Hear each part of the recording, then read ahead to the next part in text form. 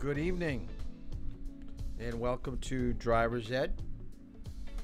It's a hot, steamy one. I've got the fan going, got the windows open. Hopefully, uh, you'll be able to hear everything that I have to say tonight. Uh, that it won't be too loud. If it is, please make a comment to let me know. We'll wait for people to uh, jump in.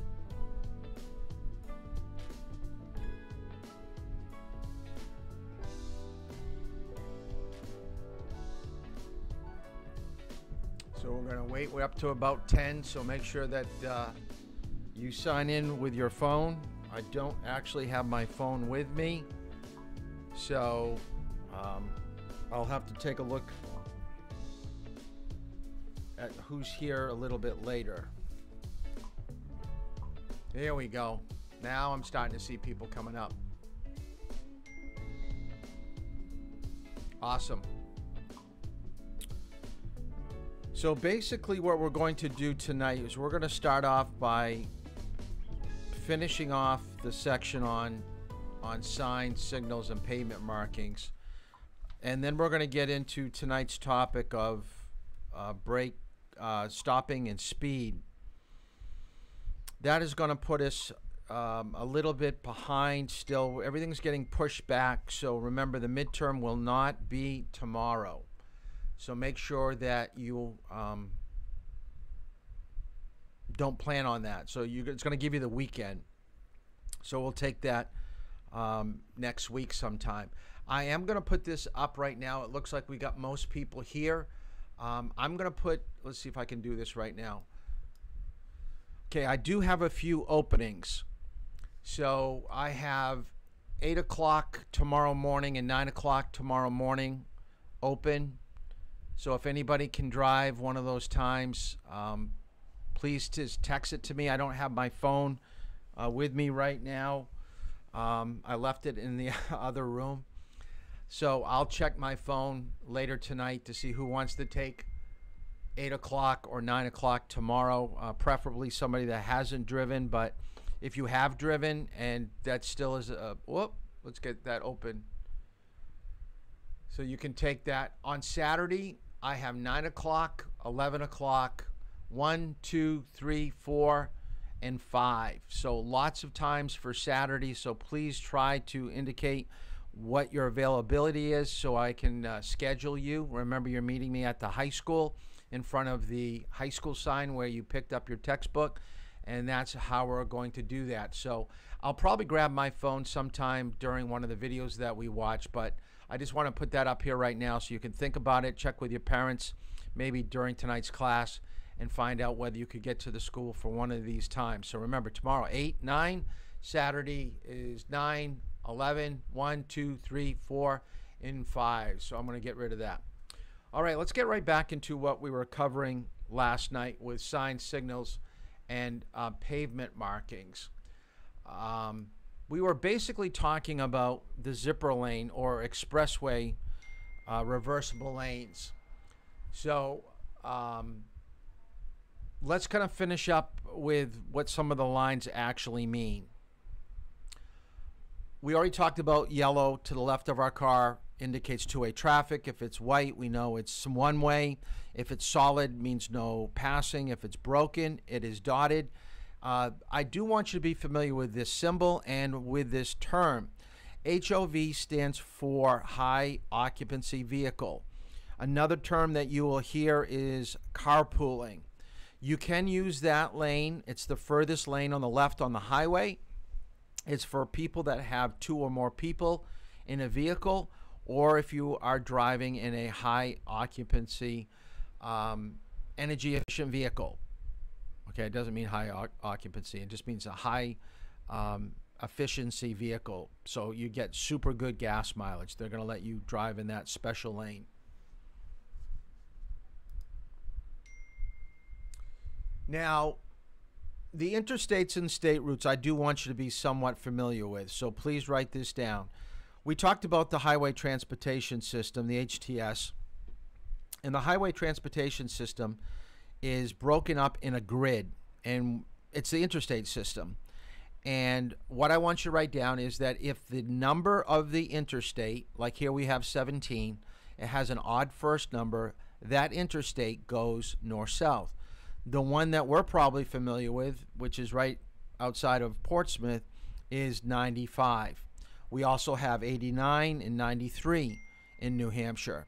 So we only have north south interstates in New Hampshire. Some states have both. So an even first number, like Interstate 80, would go from east to west. And the other thing that you probably never thought about, you probably don't even know, is when you go from the west coast to the east coast, the odd numbers get higher. So on the west coast, it may be Interstate 5 or um, 10. And then you're going to find in the middle 30, maybe 50, Interstate 70. And way over on the east coast, we've got 95. So it goes from small odd numbers on the west to high odd numbers to the east.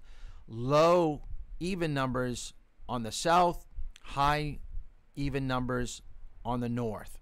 So the whole United States is a grid. But we also have state routes.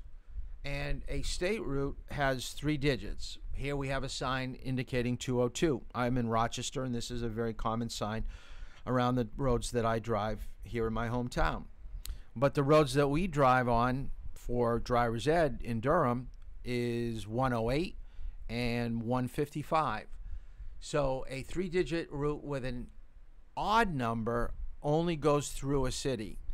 202 here in Ro- excuse me Rochester goes through or around. It could do both, and 202 does. 202 is also part of the Spaulding Turnpike, and it does go through downtown Rochester. So you could actually get off the highway and take 202 through Rochester and get back up onto the highway at a, at a later point.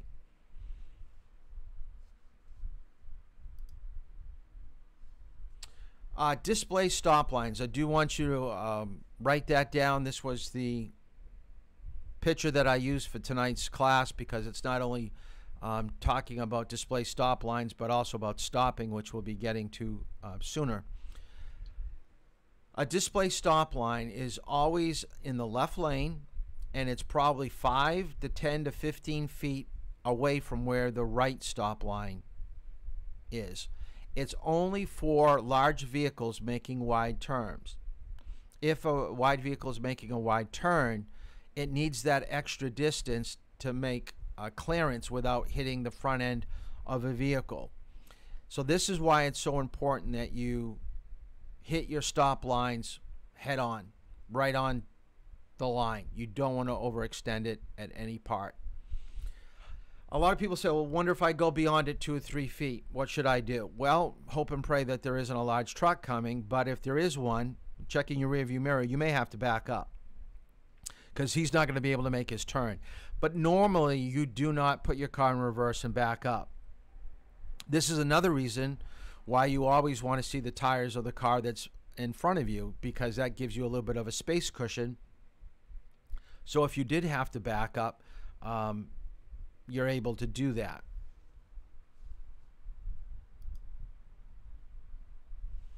Now, I thought this was kind of funny. Um, hopefully, you do too. Even police officers will make mistakes.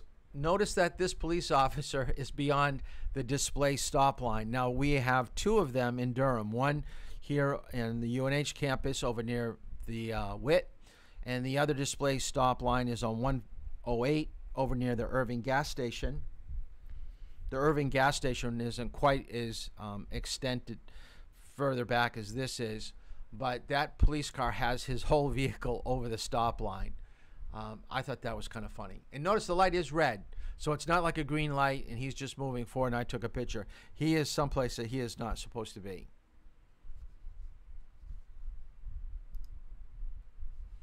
Okay, let's talk a little bit about school bus safety, and hopefully we'll be going back to school in September.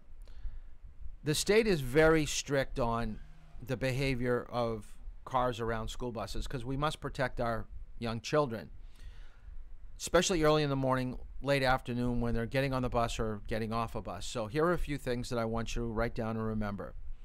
With school bus safety, a school bus that is picking up children will always have to indicate they're picking someone up by putting on their yellow lights first. So whenever they're probably about 150, 200 feet away, yellow lights will start to flash. That is giving you warning that you should be slowing down. So the yellow lights absolutely have to come on before the red lights. Now, school buses not only have red lights flashing, indicating that they're picking up kids, but they have a stop sign that is going to stick out. Now, this is actually from Durham. I was with a student, we were driving, and we got behind a school bus, and I just took out my phone and I took this picture. So let's take a look at this school bus and how they're uh, reacting. So notice the flashing red lights. The school sign has popped out. The kids are way out away from the school bus. There's, the bus driver has to wait till all of them have been discharged. Some of them will walk to the front. Some of them may walk off to the same side. The distance that the driving student is stopped behind the bus is more than 25 feet. Okay, that's probably closer to like 40 feet. But the minimum, let me get out of here. The minimum is 25. Now, on a test, a lot of people say, How am I supposed to remember all these numbers?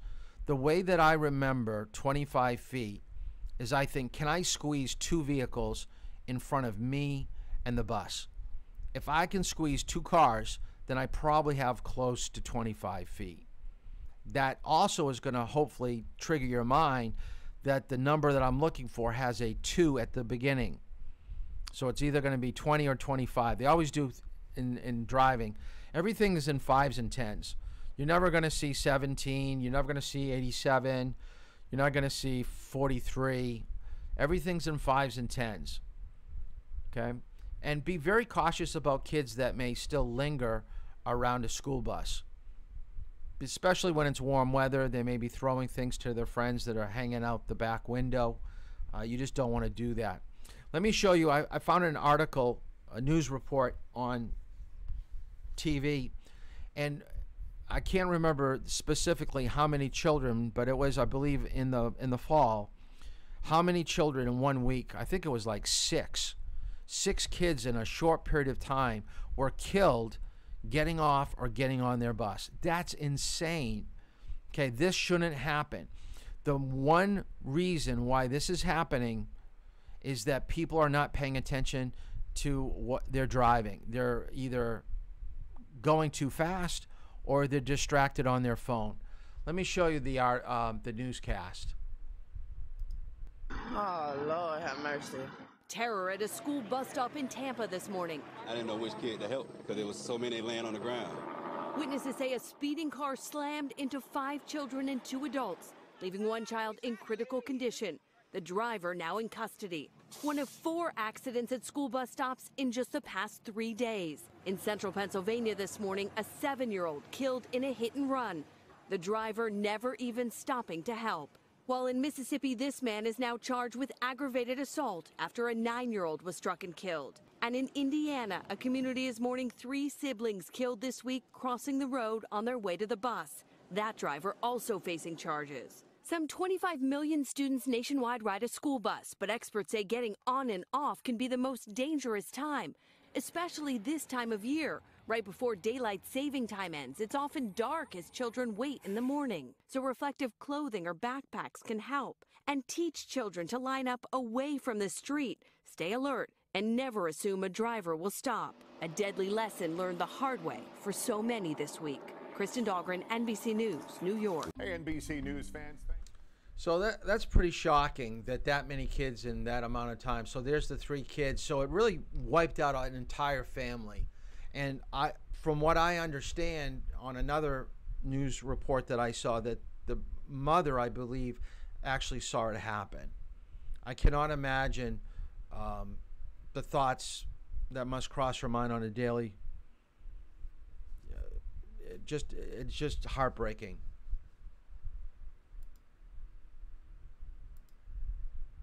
Okay, railroad crossings. Always look for signs. Now, the two signs that I want you to be familiar with, write this down. A circle sign is a railroad sign. It's yellow and it has a what we call a crossbuck. The sign that is in this PowerPoint picture is a crossbuck sign. You're always going to see a yellow circle crossbuck sign before you see the actual track sign. Now, when you do come to the crossbuck sign here, you have to stop at least 25 feet from the track, no more than 50 feet. Now, the reason why 15 is so important is because if a train derailed, if the train came off the track, if you're closer than 15 feet, it's going to crush you. It's going to go right on top of your vehicle and probably right where you're seated as a driver. And most railroad crossings will have double tracks in the city. Now, on rural areas, it'll probably be a single track. But if you're driving and you're going over a railroad track, I'll almost guarantee in the city there's two tracks. So don't be so quick when the gate goes up to be shooting right across because there could be a train coming from the opposite direction. So let's take a look at train safety. And I was at a conference, and this particular individual that is in this video, um, he's from the Northeast. He provided this clip for everybody that attended, so I, I told him that we'd show it in class. He says there's no reason why drivers should have any uh, contact with a moving train. The signals do work. If they don't work, the, the drivers should uh, slow down, uh, look both ways before they proceed over tracks. But drivers should never, never, never, never come in contact with a moving train. It should just shouldn't happen. So let me show you the railroad video that he provided. The first train car northbound is on fire. We have multiple injuries. 600,000 ton train that could be barreling down and hitting you. We hit a big truck. We're on the ground. It's a horrifying experience.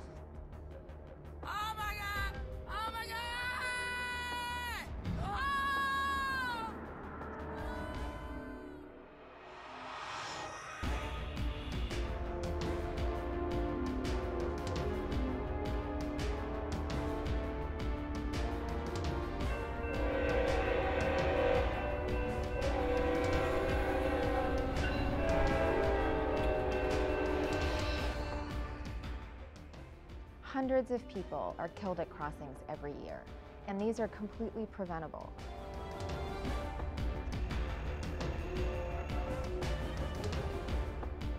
One of the ways we can prevent these accidents is for the public to do their job. The emergency notification system provides motorists or pedestrians with a phone number that they can call, and then we'll be able to stop train traffic that's heading in that direction.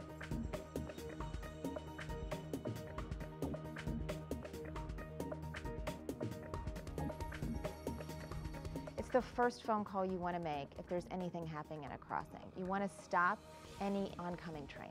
Every grade crossing is protected with an emergency notification sign. What that provides is an emergency notification phone number that the passenger or the motorist can immediately notify the railroad of any emergency at that crossing. The locator crossing number, which is six digits and a letter, can effectively tell the train dispatcher exactly where they are.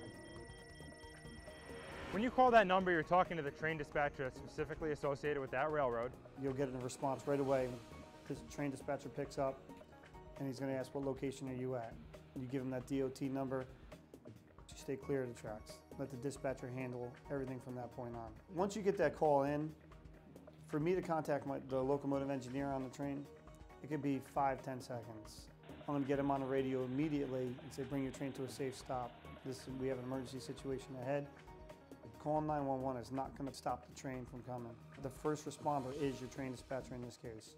That 800 number is going to get you right to the first responder.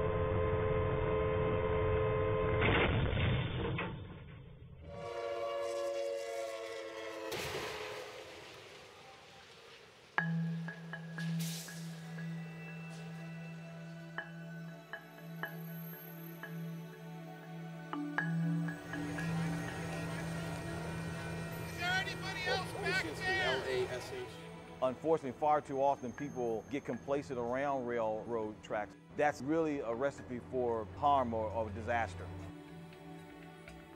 If you're towing a vehicle, um, if you're a fire engine responding to an emergency situation, you still need to let the railroad know that you're in that space, that you are close to the tracks or you're on the tracks. The ENS sign can be located in many places, either on the crossbuck, directly at the crossing, or on the silver box, which is usually located adjacent to the crossing.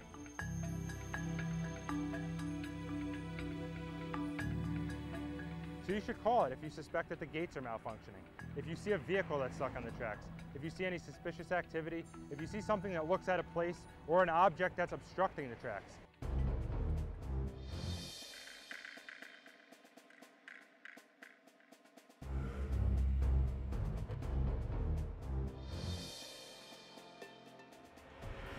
As soon as your vehicle is stuck on the tracks and the crossing is activated, you need to get away from that vehicle as soon as possible and run at a 45 degree angle towards the train. Far too many times we see people trying to save their vehicles. And the unfortunate reality is when they're trying to save their vehicles, in many cases they lose their life.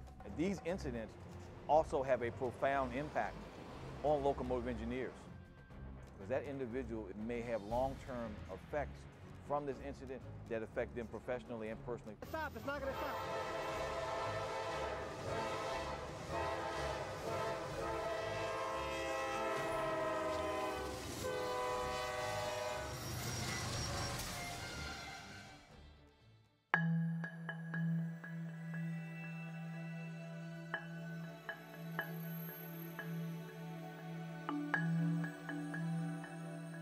Something happens and you are stuck on the grade crossing, the first thing you want to do is get your car off. So just drive through the gate. The gates are meant to break away, and so you will be able to get to the other side. You never want to be stuck at a crossing. So don't try to get over the crossing until you know you can get to the other side. Don't be stuck in traffic and sitting on a grade crossing, on a railroad crossing, in the path of a train.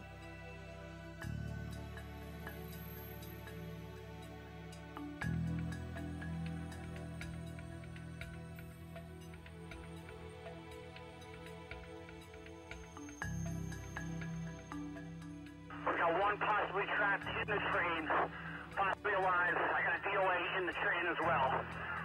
It's a horrifying experience. We've had careers that have been ended as a result of these incidents.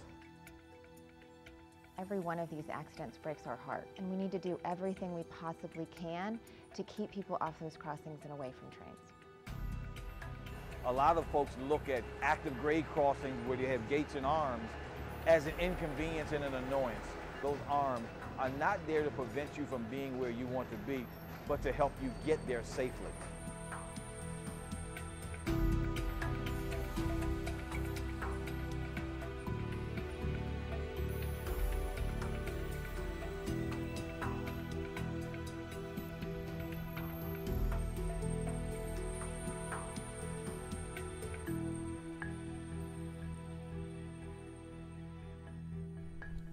So hopefully you took away some of the um, the key points of calling the number, the ENS number, if the tracks aren't uh, operating properly, to run away at a 45 degree, and to go through the gate if you have to.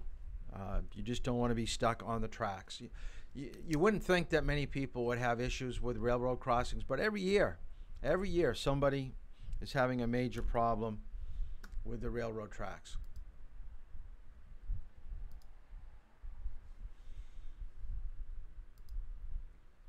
Okay, let's talk about right of way.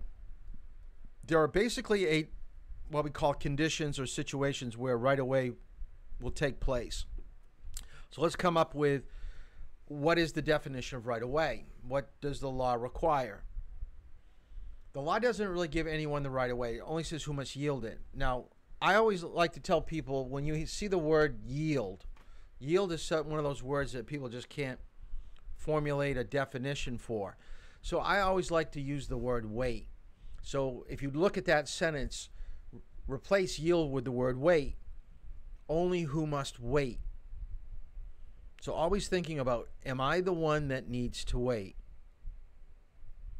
So generally at an intersection with no traffic control sign or signal, the vehicle on the right gets to go first. They have the right of way. But there are conditions, there are situations. So let's kind of go through them. First one, a vehicle in the intersection has the right of way over a vehicle preparing to enter. So that means the car is already in, he's going through, let him go, don't cut him off. A vehicle going straight has the right of way over someone that is turning left. So you're both coming at the same time. You both have a stop sign. One's going straight, one's turning left. The one that's going straight goes first. The one that's turning left has to wait. Emergency vehicles, we must wait for them. We must let them go by. We pull over to the side of the road and we wait. We wait for them to go. Pedestrians in a crosswalk, we must wait till they cross all the way, or at least halfway, like I said, if it's Durham where there's a lot of pedestrians going through. Vehicles on a main road have the right of way over people in a driveway or a side road. So if you're in a driveway, you must wait till there's an opening in traffic. You're yielding. Blind people, okay, they can't see. So they overrule. They overrule you.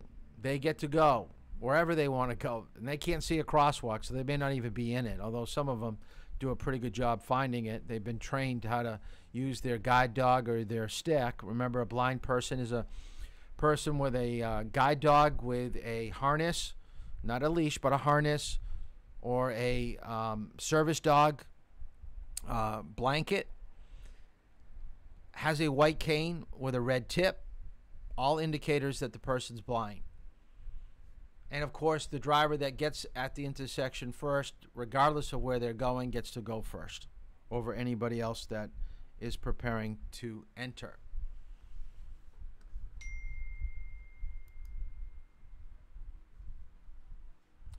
Okay, emergency vehicles. I thought I had a um, video for this, but I can't find it. So I'm going to probably have to use it a little bit later. So I'll have to remember to um, go over that. So I just want to touch on a few other things before we close up this subject on sign signals and pavement markings. Your vehicle is a powerful machine. Once you learn how to drive it and you think you're pretty good at it, remember it is to get you to where you want to go. When you start using it as a um, a toy, as for your amusement, and you start fooling around, someone's going to get hurt. I found this to be disheartening, and I just can't believe that a sister who would accidentally run over her brother. Apparently, they were playing some type of game in a mall parking lot, of running around the vehicle, trying to stop, jumping in front of the car. She was slamming the brake. I, I don't get that. I just don't. Okay, don't fool around with your vehicle because something bad's going to happen. So let's talk about some other things about vehicles. How about if you have a pickup truck? We know that it's a law to be buckled if you're under the age of 18. Now, this is uh, when UNH was still in session. It was in the fall. It was a football game going on. I'm sure they're all going to the game. But a couple of things. Way too many people in that vehicle. I would suspect that most of them are over 18 so legally, they probably don't have to be in a seatbelt. But if that truck had to stop quickly or swerve, there's no way that those people standing up are going to be still in the pickup truck. They're going to get thrown. And the picture to the right, I just don't get. They've crossed over the center line over into the incoming incoming lane. I, I just don't know why they're doing that. Uh, maybe they're trying to get into a, the parking lot, but I don't know why they're not staying in their lane. So that could lead to problems.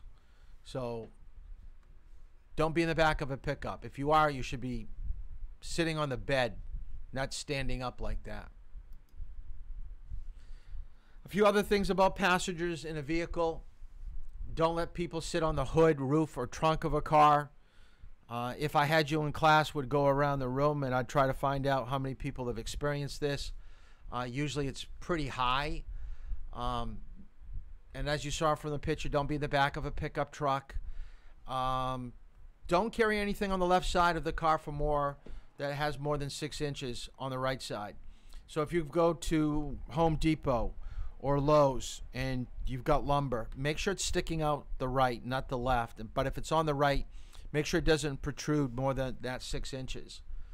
You should limit the people in the front of your um, car to at least three people. Anything more than that, they're going to be interfering with the controls of the car. House or utility trailer you shouldn't be in. A house trailer is something that has a hitch. It's not a Winnebago. It's not a, you know, a drivable RV. We're talking about one that's being towed. Utility trailer is what you take to the dump. You, you don't put people in the back there to hold down the the bags of leaves. Okay, you you strap them down. And this is probably one of the biggest ones I want you to write down and, and remember. I'm a big uh, dog fan. Usually my dog is with me in the room right here.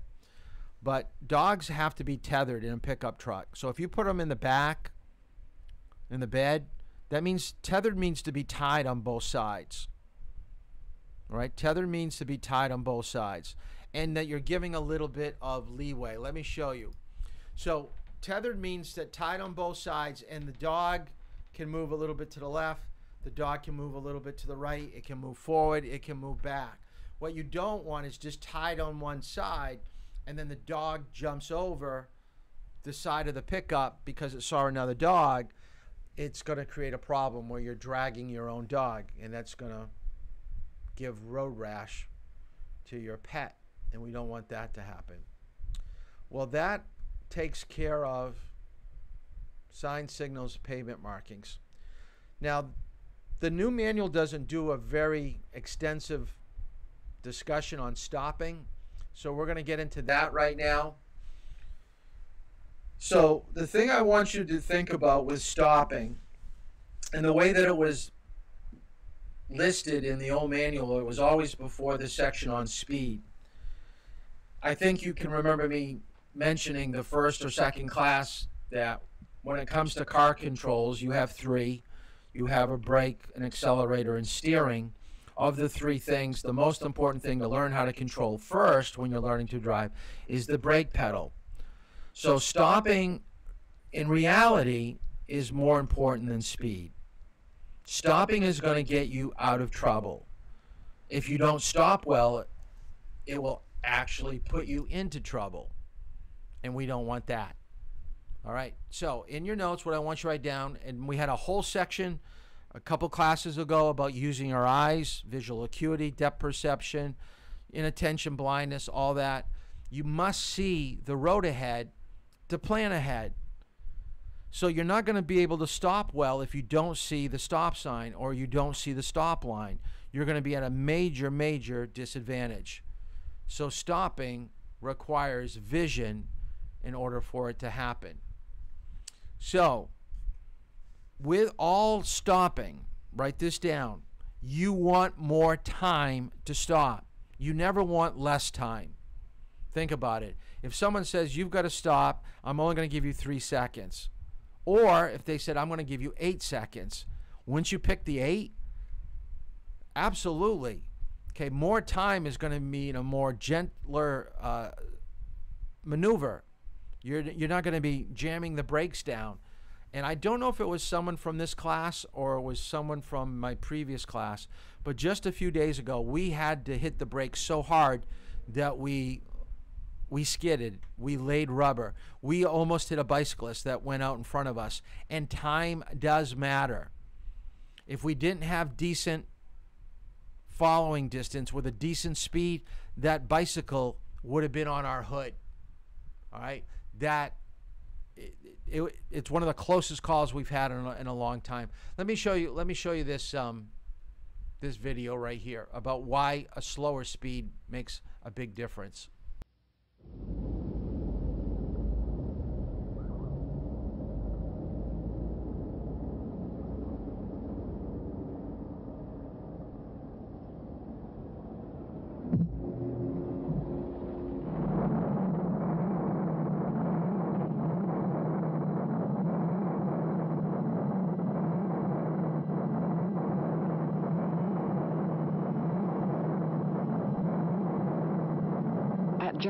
5 miles per hour over the 30 miles per hour speed limit. How much further will it take to stop? One foot, two feet, three feet, four feet, five feet, six feet, seven feet, eight feet, nine feet, ten feet, eleven feet, twelve feet, thirteen feet, fourteen feet, fifteen feet, sixteen feet, seventeen feet, eighteen feet, nineteen feet, twenty feet.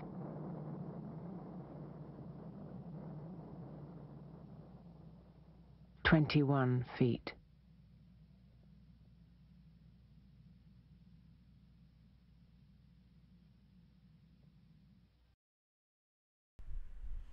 So what I want you to write down in your notes is drop your speed down by five miles per hour in a, a heavy traffic pedestrian area.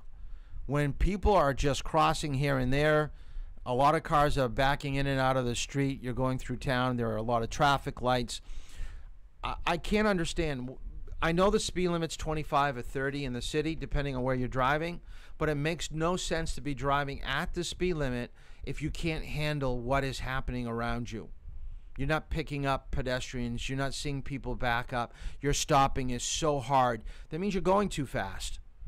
You're only going through town for a short period of time. Go slow. There's nothing wrong with going 18, 23 miles per hour, you know, a much slower speed than what's posted. But you have to handle anything that arises in these high risk and high contact areas. And that's an old video because the back tires locked right up. Um, once the brakes were engaged, um, there were no anti-lock braking system on that car, but you could see it, it takes a great distance, even at in-town speed, to stop. So if you think a person jumps out in front of you, you're going to have enough time. You you probably are wrong. I, I love asking people how at going, and let's do this right now.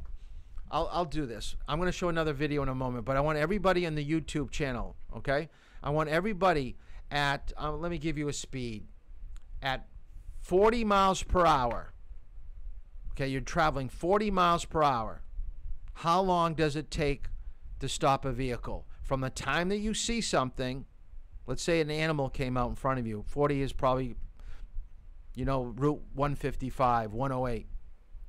An animal comes out in front of you from the time that you see the animal to the time you stop your car, you're going to need how much? How many? How many feet? So write it in the YouTube comments so I can see it. I don't still don't have my phone, and I'm going to show this video about um, speed.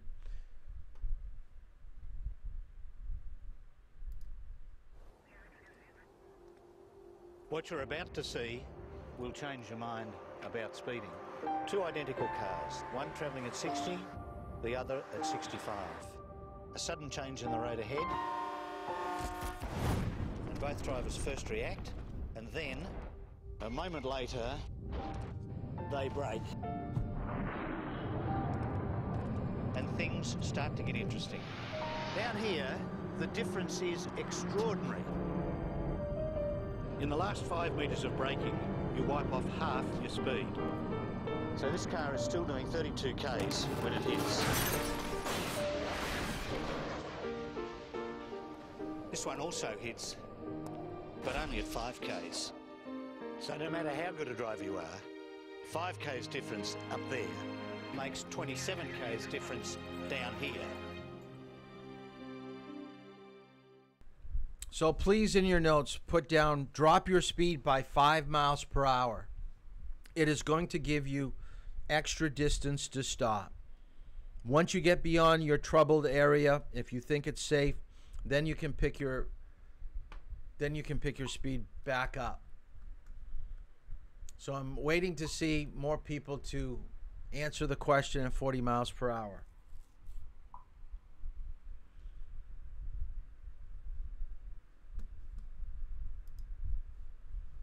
Now, here's a definition I want you to be familiar with.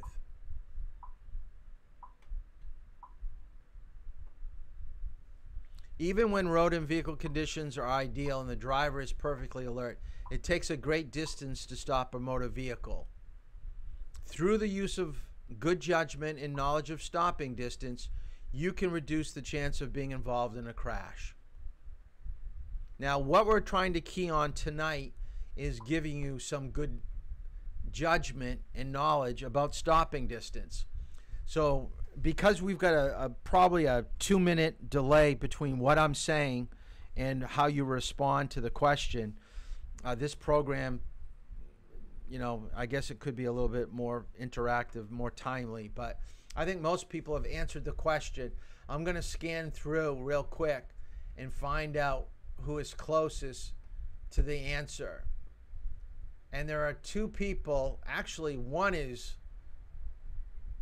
we got three people that did a fine job of guessing Joseph, Cole, and Laura were the closest to the actual answer. And I mean, really close. It's basically about 149, 145 feet at 40 miles per hour to stop a car at 40 miles per hour.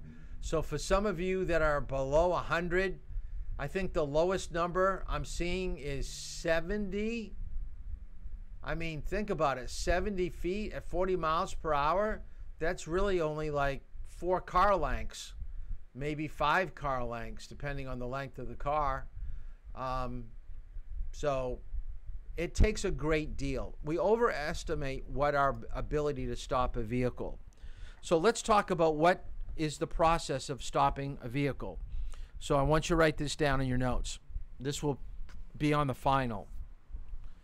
To stop your vehicle, three things have to happen. The first thing is you have to see and recognize the need to stop. I I had someone drive today. I don't think they're in the class. No, they're not. And we were working on lane changes. And we go in this particular area and we go around downtown uh, Durham three times to do a number of lane changes. On our second loop around, so they've already been by this area earlier in our drive. They totally missed the stop sign. Totally missed it. I said, "How how can you miss that stop sign? You stopped for it about 10 minutes ago." Just didn't see it. I forgot all about it. If you don't see something, your eyes could be focused on something totally different. And you're going to miss it. And you're going to think, how can I miss that stop sign? It's staring at me. Just like we said two, two classes ago. Inattention blindness is real. Uh, you're going to be surprised when you drive the things that you're missing that people are going to point out to you. Now, the second thing your brain has to tell your foot to step on the brake pedal. Now, you may think that's pretty straightforward. Of course, once my eyes see it, my mind is thinking of it, so of course my foot is going to step on the brake. No. Why is there going to be a disconnect between your brain and your foot?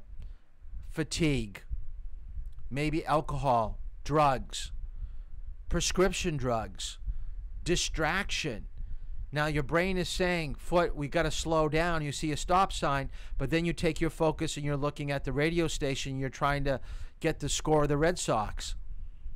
All of a sudden, your your brain is also multitasking about something other than the stop sign. It's it's going to affect the way that you're stopping. And lastly, your foot must move to the brake pedal and use the brake correctly. It makes you don't get any extra credit in life for going to the brake and saying, "Officer, I didn't mean to hit that pedestrian. I was on my brake. I was slowing down. Well, yeah, you were slowing down, but you still hit him. You got to stop. You got to make sure that it, it is complete to the degree of what you need. So if it needs a certain amount of pressure, you've got to give it that amount of pressure. Anything less than that, and you're going to be crashing into things, going beyond your stop lines. And that's what makes it so so tricky.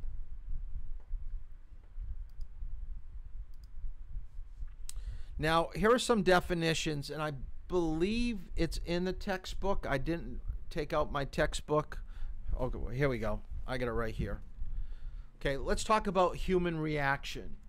All right? The time it takes from the moment you see danger until you step on the brake is called reaction time. The distance that you travel during that period is called reaction distance. Now, what I want you to write down is that the average person takes about three quarters of a second. So, my question to you are you an average driver? The answer is no. You are not an average driver. You're a beginner. It's going to take you longer. Even though your reaction may be good, you're not picking up the information vision wise as well as an experienced driver. Yes, they are talking about this. It's on page 16 in the in the manual if you want to go to the top left-hand corner about stopping distance. So this is where we're kind of getting this from if you want to underline it in the in the manual. So page 16. Now there are two other terms that I want you to know is braking time and that is the time it takes for the brakes and the friction between the road and the tires to stop the vehicle. And braking distance is the distance that you're traveling during that period of time. So there's four definitions. Reaction time, reaction distance, braking time, braking distance. Now what else goes into stopping? the surface of the road. Okay, a dirt road, you're not going to stop as well as a paved road. The condition of your brakes, um, the size of your brake pads, the weather. We talked about fatigue. We talked about drugs. We talked about being distracted. So a lot of things go in to stopping. So you really want your vehicle maintained in the best possible condition you want to make sure that if it's bad weather, you're giving yourself more time and distance to stop.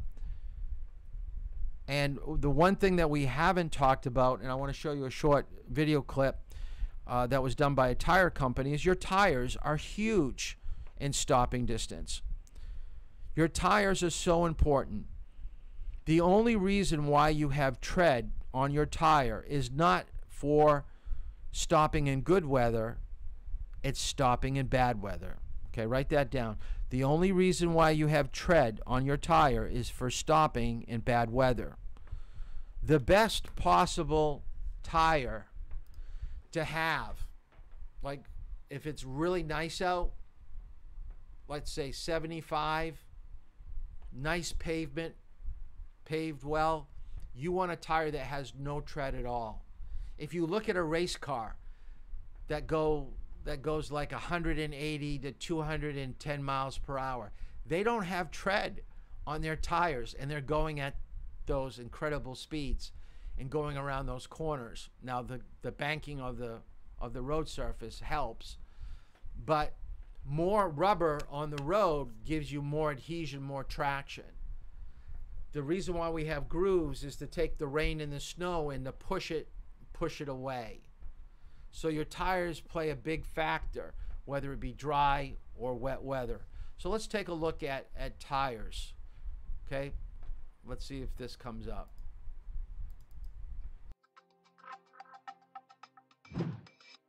We tested the effect worn tires have on stopping distance.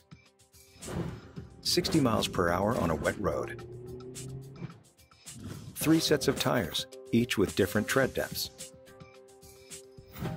and one professional driver. When the driver accelerated to 60 miles per hour, watch what happened when he tried to stop. While your actual distances may vary, it took him nearly 10 additional car lengths to stop on worn tires. So, when will you stop? Ask about our complimentary tire inspections. So that's a good advertisement for why you should make sure you have good tires. So let's talk about tires just for a second. Um, my car, driver's ed car, has to be inspected this month. I did put four new tires on the vehicle about a month and a half ago because uh, I knew that it was going to be heavy driving this this summer. But when you go shopping for tires, please write this down. Do not go cheap. There are going to be tires that are, let's just say, around 90 to 110 dollars, and then they're going to go up to like 250, 300 dollars. I don't expect you to pay per tire the most expensive tire, but you're doing a disservice to you um, and you're driving if you're buying the, the cheapest tire that you can find. Try to find something that is middle of the road, um, that will give you long life, meaning that you're not going to have to replace them that often, but it's still going to give you the safety as we just saw for um, for stopping, and they're going to be drivable. You'd be surprised. The the type of rubber that they use and the tread design will um, cause the car to make noise, and how your ride will be meaning how smooth the ride will be. You ever put winter tires on a car, been on a car with winter tires? They've got the real aggressive tread. Your car doesn't drive as well. It's it's safer because it's gripping the road better, but it's not the most enjoyable ride. So you've got to balance out. And some people swap out um, all radial tires for winter tires um, in the winter. I kind of go with an all weather tire and use them all year long. Um, only drive when it's really uh, safe to drive. I don't really get into going through deep snow, so we don't drive a lot in heavy heavy snow with with our teaching and our driving. So that is on stopping. So let's talk a little bit about speed. I am going to guess that there are at least a few of you that are in this class that have been in a car over 100 miles per hour. Now, hopefully, you're not the one that was driving. I think maybe your parents would be surprised to know that you were in a vehicle that was going that fast. If it wasn't 100 miles per hour, it was probably pretty darn close. Remember, your parents were young once too. So if you were to ask them, have they ever been in a vehicle over 100 miles per hour when they were in high school? I would bet you'd come back and report that, yeah, my parents admitted that they've been in a car going that fast. Now, some of you may even have to admit your parents were driving that fast. Maybe you had a chance to go to Europe and drive on the Autobahn where it's legal.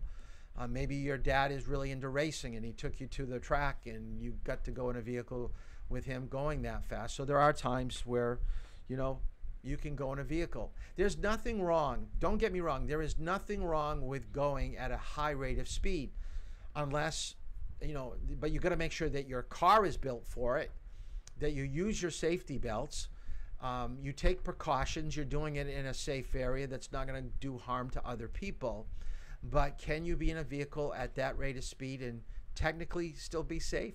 Yeah.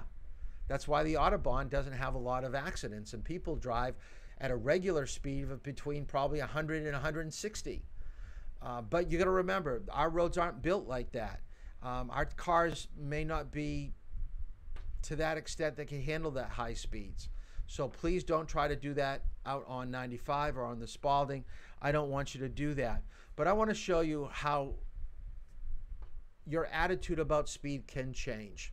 So let me show you this commercial that was on TV probably about five years ago.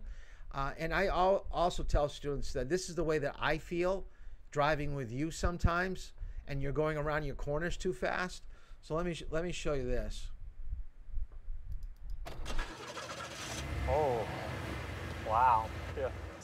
Nice and easy. Just head on out and whenever you're ready. Are you ready to go ahead and, yeah. and drive? Okay. Yeah, sure. Oh. Whoa.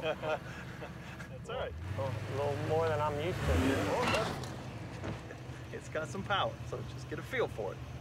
Okay. Okay, all right. He's off just a little. He's up. So I was thinking a little more age on me, some wrinkles, a little dorky, maybe some facial hair. It was somebody that I can pull off a, a fun prank with. Let's go have some fun. My good friends at Pepsi Max have hooked us up with this cool cam cam. So these are the glasses cam to show you everything that I see. How you doing? Hello. I'm Mike. Steve, nice to meet you, Mike. I saw you sort of gravitated towards the Camaro. You thinking about getting one? Oh, no, no, no. This, this way too much car for me. I'm... Well, it's a lot of power, but they designed it to be very safe. I don't know if I can handle it. I, have never driven anything like this before. Well, I... I tell you what, I think a way to really make you feel comfortable would be to put you behind the wheel. You're good. What are you driving now? Oh, just a minivan. Oh, yeah. Yeah, what am I You're not signing obligated. here? You're You not, sure? it's, it's just a checkout sheet for a test drive. You're not obligated to anything. It's just so we know who's out. Let's go give it a drive. I'm Ready to getting a little nervous. No, I'll be right there beside you. There are your keys, sir. Thank you, Steve. Uh, You'll have to unlock it, Mike. Oh, yeah. thank you. There we go. Oh, yeah. What a car. Mm-hmm. Well, we better buckle up. Yeah, good call. Power, power door locks, standard, of course.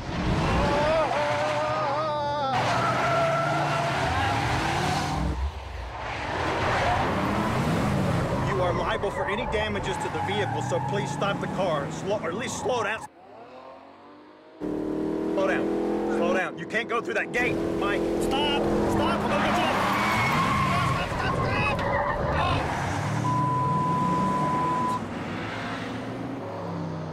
Watch it! Watch out!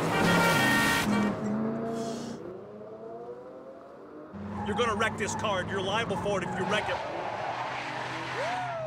Mike, stop the car! Stop the car right now! Get up here!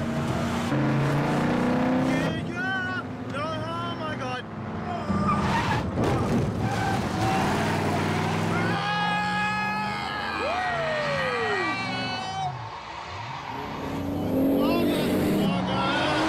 Take us back. Just take us back. Oh, no, no, no. You all right over there, Steve? Oh, you're an idiot. I'm gonna kill you. Oh, stop, stop, stop! Oh, God almighty!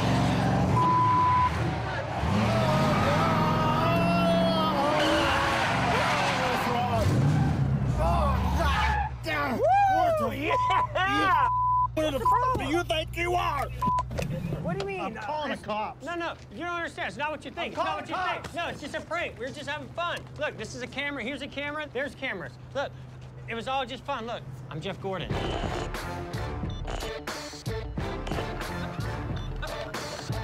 Sorry, man. Oh. Sorry. Wanna do it again? Yeah. I love his reaction at the very end of the video. Now, he was scared. He was so scared. He thought his life was ending. But at the end of the video, when he found out it was a prank and it was a professional driver, and then he was safe, he was just being played with, he thought it was great. Let's do it again. It's funny how when you're driving with people, and now maybe you've been a passenger, maybe you could put this in a comment put down in the comments on YouTube have you ever driven with one of your friends who has just gotten their license and they made you nervous? But yet they think that they're a decent driver. They've passed driver's ed. They've got their license and they think they're good. But you're driving with them and you're going, oh my goodness, they're going to wreck the car. I'm going to die. You, you get really nervous with some of your friends. So put it, don't put down names of who makes you nervous, but write down in the comments whether you've driven with some of your high school friends and they make you nervous. It's funny how when you drive, you think you're in control. You think that you're a good driver. Other people are looking at you and going, oh my goodness, they have no idea that they're too close to the right. They're missing things as they go by. They're, they're going way too fast for their corners. Speed is a very subjective thing. So take my criticism when you drive with me, your parents' criticism, under advisement, we're trying to make you a better driver. We want you to, to understand that slow or a, a decent speed is not bad. And we may quarrel about what is a decent speed. But we'll talk about that as we get into the subject of speed. So, is going the speed limit always the safest speed to travel? And the answer to that question is no.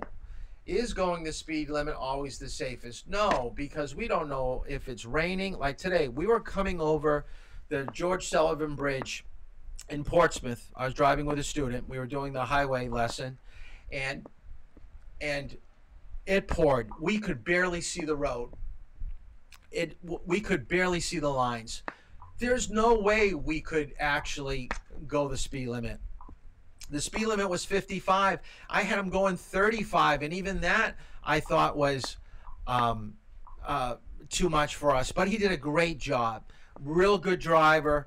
I didn't feel he was out of control, but I was afraid of how other people would see us and where we could actually find. Um, I already showed you that video. So who's in control? You got to remember you are the one that's driving. So once you get your license, if you're making someone feel uncomfortable, please listen to what they're saying. Don't try to shame them and make them feel like they're a wussy, that they can't handle it. They're, you know, a bunch of, you know, uh, no fun friends. Uh, you have their life in your hands when you're driving. Driving's a big responsibility. And this is why the state only wants you to have one non relative in the vehicle. Not because they don't want you to have fun or not to help out uh, friends to get to where they're going, but if there is any type of a crash, they want to make sure, liability wise, there's not a lot of people that are going to be hurt. There's a lot to be said about getting a lot of driving, even though you've done the 10 with me, 40 with your parents. It's still going to take you a, a number of years. Actually, the insurance company, you're going to find this hard to believe, the insurance company does not reward you for safe driving until the age of 24. You're basically driving for the next eight years before an insurance company really believes you are what you are. They're not taking just three years, four years as a an example. Now they do give you some credit, but you're going to see a remarkable drop in your insurance rate once you get out of college. Once you're around 23, 24. So everybody looks at you as a high risk driver. So what is considered a safe speed? A safe speed is one that allows you to have complete control of the vehicle. That means you can steer around corners to the right, to the left. You can stop at your stop signs, your traffic lights. There's nothing on the road that is coming towards you that you should not be able to handle. Once your speed is going so fast that you can't stop at your lines, make your turns, you are going too fast. If you cannot stay in your lane when you make a turn, you are going too fast. It's basic. And then we haven't even begun to talk about what happens when you have a tire that blows out. What happens when a moose walks in front of your vehicle? What happens if there's a pothole that's just around a corner when you're driving? These are all situations that you do not plan for. They're not around every day, but they do happen maybe once or twice a year. You're going to be you're going to have to handle those situations.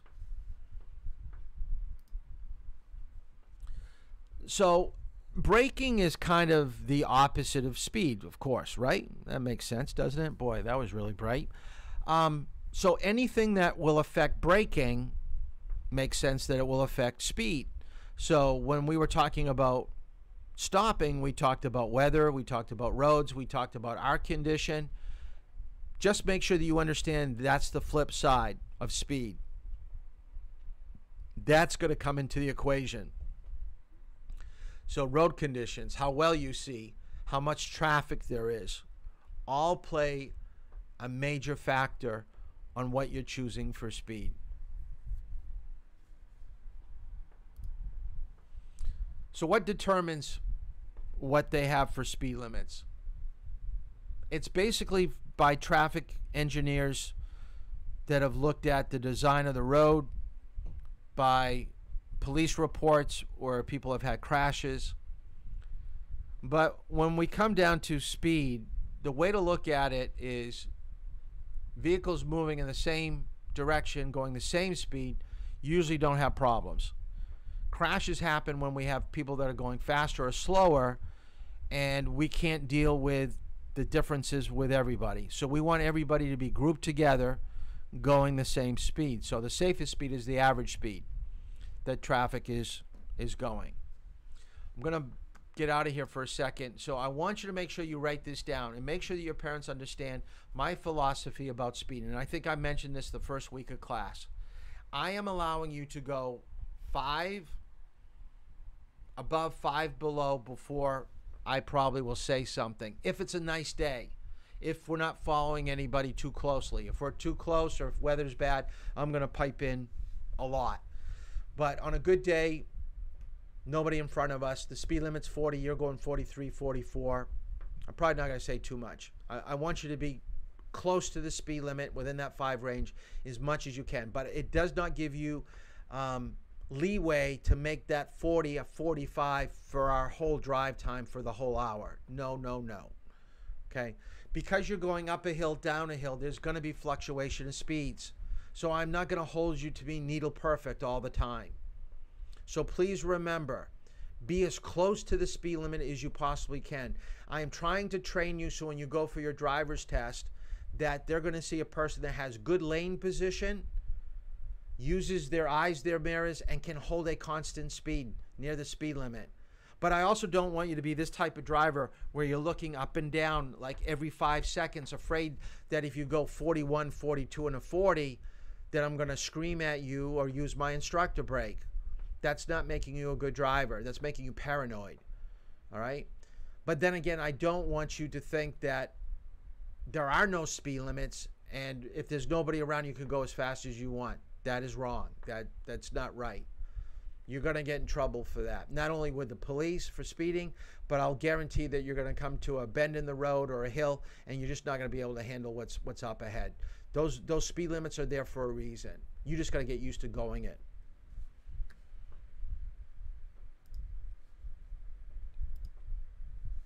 So these are all things that we've talked about already and that uh, you already had through your reading. Um, oh, let's talk about how how do the police know how fast you're going? Do they just watch your your car coming down the road and uh, say that car looks like it's going fast? I think I'm going to pull it over. And by the way, okay, it's a myth that they're pulling over more red cars than any other car or they're pulling over yellow cars or white cars. The color of your car has nothing to do with with the speed uh, that uh, the police pulling you over because of your speed. It's because the red car is going fast. That's why the yellow car is going fast. But the police monitor speed by I want you to write down your notes three ways by radar, laser, and aircraft. And a lot of you are probably saying, "What do you mean by aircraft?" How, how can they monitor me by the air?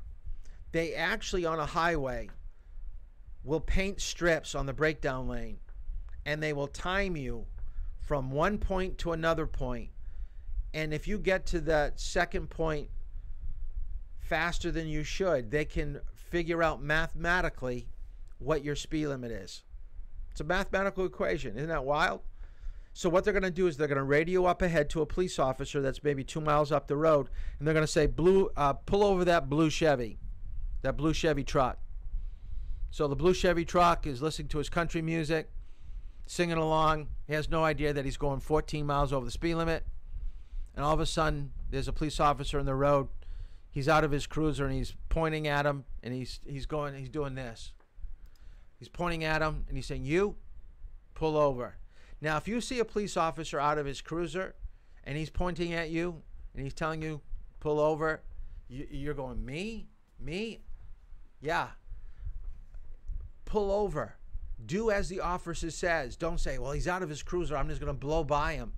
I'm going to go down the road take a side road. He'll never find me. They probably already have your license plate, by the way. Say, don't do that. If, if the officer doesn't want you, he wants the car behind you, He's going to look at you and tell you, no, not you. I want the guy behind you. Okay? So just keep going. But this is how they uh, detect speed. Oh, let me play it. I don't even have it up. Hold on. If you reckon you can get away with speeding, look at this. Police radars are more sophisticated than ever. He's about a kilometre away, this fella. Watch this. Got him. He had no idea Here you go. Just slow down, it's not worth it. Over 200 cars with these radars are out day and night. And back in town, the new ProLight lasers can pinpoint a speeding driver in busy traffic and catch him. It's just not worth speeding because we'll catch you before someone gets hurt. So that is how they actually use radar and laser. Now, it's a cat mouse game. The police know that you have detectors in your vehicles. People buy detectors because they want to drive fast and not get caught and have to pay fines and pay high insurance rates. you've got to remember that in some states that would be illegal to have a radar detector. Okay, radar detector is not illegal in New Hampshire. Um, but I want you to know that I'm not a believer of radar detectors because they only work when an officer has left his radar on unattended.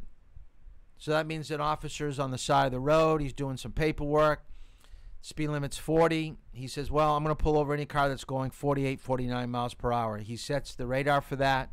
So once a car gets within range, if he's going 48, 49 miles per hour, inside the cruiser, it's going to make a noise. He can look up, he can see the car, he could put down his computer and go get the vehicle. Now, if that car had a radar detector inside, it would do the same thing.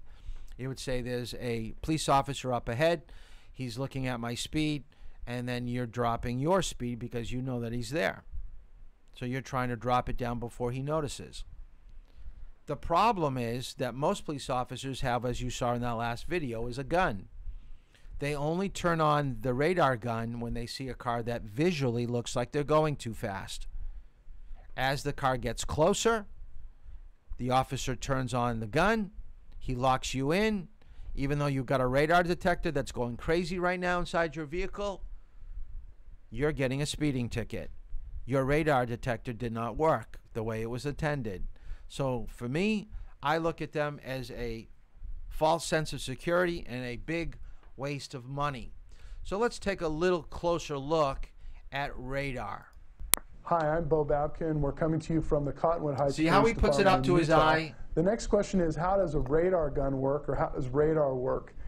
There's So two puts it different down, types of puts it radar up, in, in our world right in. now, and there's many. There are others, but the two I'll talk about is one is is regular radar, which we call, which is a frequency-based type of radar, and then we have lidar, which is laser, which is a uh, the acuity of a laser uh, radar gun is pretty close to being perfect. I mean, you can, from many, many hundreds of feet, you can put a, a laser on the, the, the front of a license plate and measure uh, how fast somebody's going, as opposed to the other one I talked about briefly before, and that's the, that's the regular radar or the frequency radar where it sends out a, a frequency and it, it calculates how fast somebody's going. Sometimes, uh, some, or most of the time, an officer will be standing stationary and that machine will measure the speed of a vehicle and how fast it's going.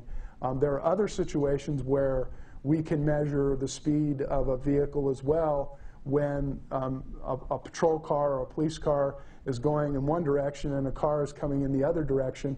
Uh, that machine that's being used is, is measuring the speed of the actual vehicle that's going to measure it and measuring the speed of the vehicle coming towards. So it's, a, it's really a, quite a machine, and I know it, we don't have enough time to really explain all of it, but I know they, they work very well, one on frequency, one on laser beam, if you will.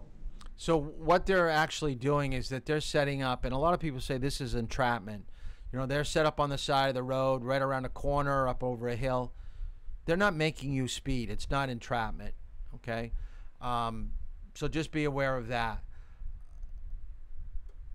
I think that. Let me. Um, we still got a little bit ways to go with fi- finishing up speed. I think what we're going to do is the section on turning that we weren't able to do earlier in the week on Monday, and the rest of this speed, we'll do that.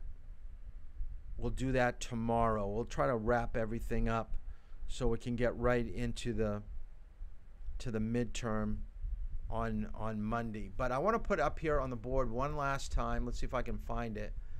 I don't even know where I put it. I thought I had my my notes. So remember, if you can drive tomorrow at 8 or 9, I've got Saturday. I still can't find where I put it. I hmm. Saturday, I think I've got 9, 11, and all afternoon. So if you can drive in the afternoon, I think afternoon is what I'm looking for. Saturday afternoon. If you can drive, please put that in your comments in a text message. Uh, make sure that you have read uh, sections uh, 5 and 8 in the manual because we'll kind of get into that tomorrow. So there really isn't much homework. Um, I am going to link since we finished up on sign signals, payment markings, I will give you another worksheet that I want you to do that's a little bit uh, better than the, the chapter test that you did. So go on um, tomorrow morning. I'll put a link to a, a worksheet that I want you to do and hand it in for me for the weekend. But we're going to finish up some loose ends tomorrow and get everything so next week we can get right into the um, into the midterm. So please, those that haven't driven, please start signing up. I want to stop moving things along. So that's it for tonight. Um, we'll see you tomorrow at 8 o'clock.